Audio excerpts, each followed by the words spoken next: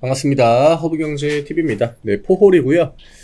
어, 오늘 일단은 음봉, 뭐 시가가 밀렸기 때문에 몸통은 거의 만들어지지 않았지만 어쨌든 간에 금요일 대비 주가는 밀렸고요. 그리고 장중에 유의미한 반등을 보여주지는 못했죠.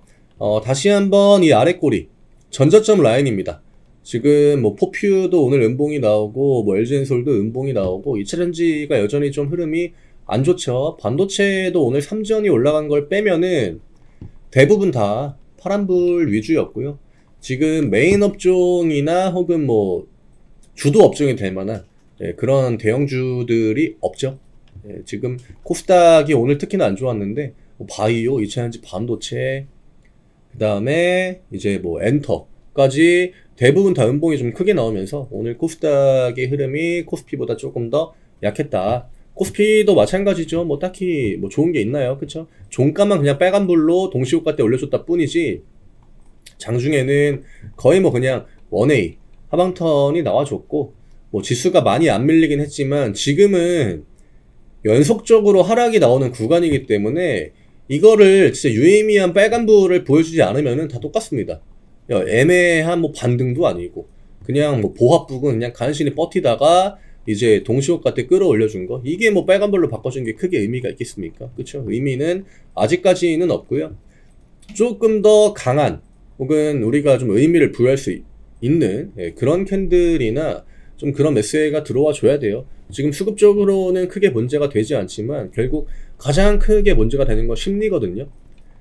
국어를 음봉이나 마찬가지입니다. 오늘 하락 종목이 훨씬 더 많기도 했고 오늘 대부분의 종목들이 다 음봉을 보여줬고 코스피 그 일부 종목들 제외하면은 그래서 며칠까지 이어질지는 모르겠어요. 이게 왜 우리나라만 유독 이런 그 이런 식으로 액션을 주는지는 뭐 외국인이랑 기관들 당사자만 알겠지만 어쨌든 기관 쪽의 매도 영향이 코스피를 좀 밀고 있다라고 하는 거. 포홀을 봐도 포홀이 과거에 이제 주가가 좋을 때 보면은 기관 쪽의 매수가 보통 베이스가 됐단 말이죠. 근데 지금 며칠이죠? 코스피가 오늘 9거래일 음봉이라고 제가 이야기 드리지 않았습니까? 거의 뭐 색깔만 빨간색이지만 기관 쪽의 매도가 딱 9일 동안 나왔습니다. 이런 것들이 좀 잡혀야 될 것 같아요. 지금 가격 하락을 만드는 명확한 원인이 여기에도 지금 나와주고 있기 때문에 여기에 유의미한 빨간불을 보여줘야 그래야 포홀도 주가가 좀 어, 다른 움직임을 만들어 낼 수 있다는 거. 이거는 포홀뿐만이 아니라 전체적으로 나오는 현상이에요. 이게 결국에는 매수 효과도 굉장히 얇게 만들고 거래량이 줄어들어도 하락이 막 더 크게 나오고 이런 것들 악순환이 그냥 반복될 수밖에 없거든요 이 고리를 끊긴 해야 됩니다 뭐 전저점 나왔으니까 이제는 저점 라인이다 라는 그 관점 하에 반발 매수나 저점 매수가 좀 들어올 수 있는 구간이긴 하거든요 근데 시장이 또 그냥 비리비리하게 파란불 보여주고 하면은 또 그냥 반등 나올 때 이런 식으로 윗꼬리 윗꼬리 윗꼬리 이거 반복될 확률이 높아요. 이제 필요한 거는 그냥 업종 하나가 그냥 시장을 잡고 올려줘야 됩니다. 그리고 그거를 종가까지 좀 유지를 해줘야 되고요. 양봉도 몸통이 어느 정도 좀 달려있는 그런 것들이 나와줄 타이밍이다. 그게 반도체여도 지금 당장은 상관이 없고요. 2차전지여도 상관이 없다. 왜냐? 첫 스타트를 어쨌든 간에 끊어주긴 해야 된다는 거 네, 캔들 하나를 우리가 좀 안정적으로 볼 수 있게 그런 것들을 만들어 줘야 되는데 확실히 굉장히 좀 끈질깁니다. 끈질기고 이 와중에 이제 일본 시장 올라가고 해외 증시 다 흐름 좋고 하니까 더더욱 답답한 거죠. 우라통이 진짜 그냥 터지는 예, 그런 상황인 건데 뭐 우리나라가 이런 패턴들을 아예 그동안 안 보여줬던 것도 아니고 과거에도 이런 경우들이 몇 번 있었는데 그 뒷구간은 대체적으로 반등을 보여주긴 했습니다. 그리고 작년에 이제 2차전지 7월 달에 엄청나게 올라갈 때 그 앞에도 이런 패턴들이 똑같이 만들어졌었거든요. 이때죠. 이 5월이랑 이제 6월 달 빠질 때 이때 나스닥 보면은 이런 식으로 올라갑니다. 이때도 2차전지가 좀 거의 그 시장이 밀리는데 주도적인 역할을 했는데 이때도 2차전지 사이클 만들고 그 다음에 밀린 거거든요. 그 다른 나라 시장이랑 역행할 때 보면은 요 흐름을 빨리 좀 막아줘야 될 것 같아요. 가격적으로 막 그렇게 크게 밀 것 같지는 않고 이게 음봉이 좀 연속적으로 많이 나오긴 했지만 이전처럼 하락하는 액션이 그렇게 크진 않습니다. 물론 큰 종목도 있고 작은 종목도 있겠지만 매도 금액 자체가 대부분 다 제한적이기 때문에 음봉은 좀 감당할 수 있는 수준으로 보여주고 있다.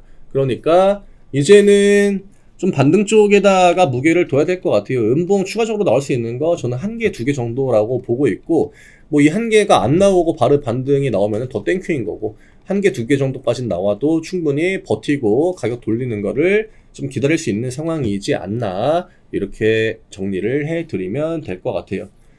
많이 힘드시겠죠. 뭐 포홀뿐만이 아니라 지금 이차전지를 막 여러 개 들고 계실 건데 대부분 다 똑같은 흐름을 만들어 가고 있다 보니까 뭐 예수금의 대부분이 막 이차전지에 많은 이제 비중이 들어가 있을 거고 그리고 신규 매매를 뭐 하고 싶어도 일단 종목들 자체가 좀 생소한 애들이 많고요.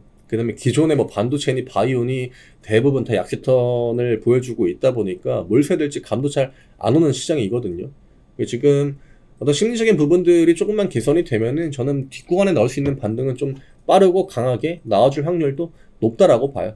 그때까지 기다리는 게 좀 힘들다 뿐이지 지금은 우리가 이 정도 위치에서 막 손절을 고려하거나 그럴 만한 포지션은 아니다라고 보고 있습니다. 기관 쪽의 매수가 조금 더 들어와 줘야 돼요. 금투 같은 애들 백날 첫날 들어와도 주가에 아무 도움 안 됩니다. 금투는 기관이 아니라고 그냥 보시면 됩니다. 우리한테 중요한 건 이제 과거에는 투신이었죠. 연기금도 사실 포울의 주가에는 많이 영향을 못 줬는데 그 주가를 끌어올려줄 때 투신 쪽에서 많이 주도를 했단 말이죠. 투신 쪽에 빨간불이 좀 들어와 줄 때 그때 어, 좀 양봉을 보여준다라고 하면은 역시나 키포인트는 이제 기관이다라는 걸 우리가 확인할 수 있을 것 같습니다. 기관 쪽의 매수가 좀 필요해 보여요.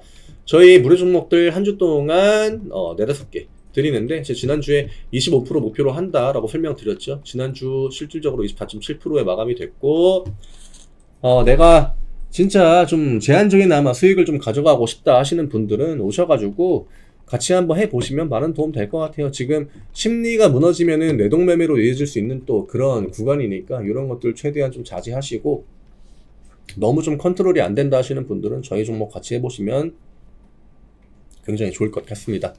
저는 내일 다시 또 인사드리겠습니다. 감사합니다.